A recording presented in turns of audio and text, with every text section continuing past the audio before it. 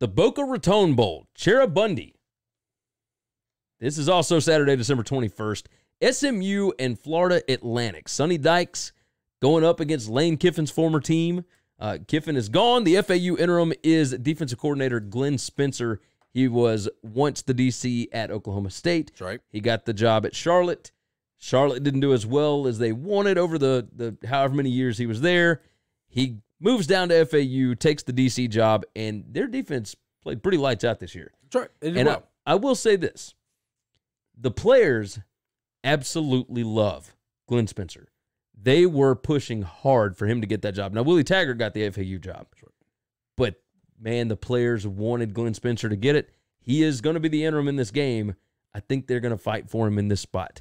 Uh, SMU wide receiver Reggie Roberson still likely out in this game. Uh, he's more than questionable. I think he's more like doubtful. Uh, but there's there's always the possibility that he could play on Saturday, and we'll see. Um, I mean, you look at uh, all of these different stats. Both of these teams can put up points with the best of them. SMU number six in the country in offensive points per game at 43. Uh, FAU number 16 at 35.2. FAU has actually played the harder schedule when you look at Massey's strength of schedule, which is kind of crazy, right? I mean, SMU. Yeah, but that's because they they played Ohio State, and that's going to throw the schedule really wonky. yeah, yeah. you get you're the right. hell beat out of you about Ohio State. It makes your strength schedule look really good. This is a fun game. It's uh, it's two thirty p.m. on ABC. Uh, Florida Atlantic playing at home. Two 10 win teams. I mean, that's That's that's pretty big deal. Uh, if you look at the against the spread records, one team is going in an opposite direction of the other one. FAU three and one against the spread over the last four. SMU one two and one. Didn't look very good on defense uh, towards the end of the season. Like once they lost to Memphis, everything just kind of went whatever. It- you if you can't stop FAU, you're going to be in trouble. And I think they're going to have trouble here.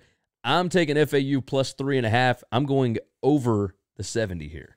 Yeah, I like the over as well, but I like Sonny Dykes. The the FAU is FAU is not the the caliber of teams that SMU was playing and losing to and struggling to. They're just not. There's a separation of talent that's there. Okay. Okay. And I think this offense is going to be hurt significantly because I think Lane is a, an exceptional play caller, an exceptionally gifted offensive guy. Well, but he's not the play caller.